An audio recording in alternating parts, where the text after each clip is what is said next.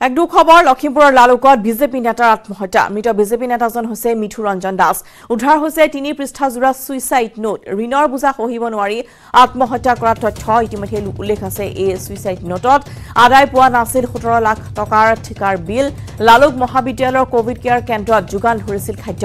ঘটনাস্থলীত ইতিমধ্যে দণ্ডাধীশসহ লালুক আৰক্ষী উপস্থিত হৈ মৃতদেহ উদ্ধাৰ কৰি মৰণোত্তৰ পৰীক্ষাৰ বাবে প্ৰেৰণ কৰিছে।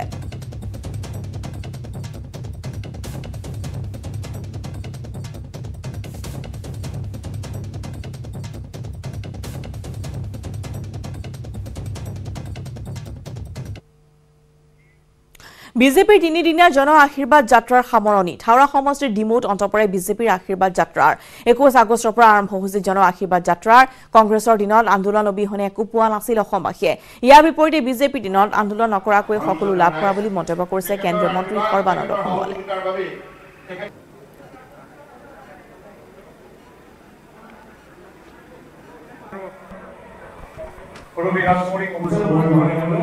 এতিয়া আমাৰ মাত্ৰ দুজন আলোচনা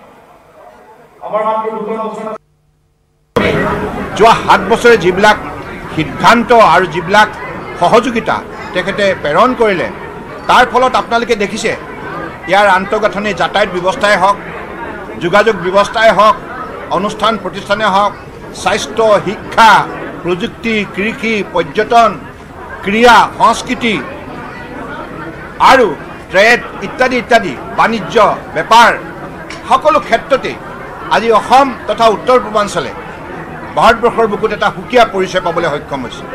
আজি অসমলৈ শান্তি ঘূৰি আহিলে দুৰ্নীতিৰ বিৰুদ্ধে যি শক্তিশালী পদক্ষেপ ইয়াৰ ফলত সকলো যোগ্যতা সম্পন্ন ছাত্ৰ ছাত্ৰীৰ মনত আজি আস্থা আৰু বিশ্বাস উৎপত্তি হৈছে যাৰ বাবে মূল্যবোধ সমাজ ব্যৱস্থাত প্ৰতিষ্ঠা হোৱাটো সম্ভৱ হৈছে। এই সকলোবিলাক কাম সম্ভৱ কৰাৰ অন্তৰালত আছে নৰেন্দ্ৰ মোদী ডাঙৰীয়াৰ উল্লেখযোগ্য পদক্ষেপ। ইফালে বিজেপিৰ আশীৰ্বাদ যাত্ৰাৰ উপ নিৰ্বাচনতো প্ৰভাৱ পেলাব বুলি আশাবাদী থাওৰা সমষ্টিৰ প্ৰাক্তন বিধায়ক সুশান্ত বৰগোহাঁই। সৰ্বানন্দ সোণোৱাল ডাঙৰীয়াৰ আজিৰ আগমনে আমাৰ তৃণমূল পৰ্যায়ৰ সকলোখিনি কৰ্মীক এনেধৰণে উদ্বুদ্ধ কৰিছে যে অহা উপ নিৰ্বাচনত তাৰ উত্তৰ আমাৰ অসমৰ ৰাইজে পাব। এই কথাটো আজি আজি মঞ্চৰ পৰাই আজি আমাৰ ইয়াত কৈছোঁ। আপোনাৰ নেতৃত্ব অসমে এটা গতিশীলতা পাইছিলে।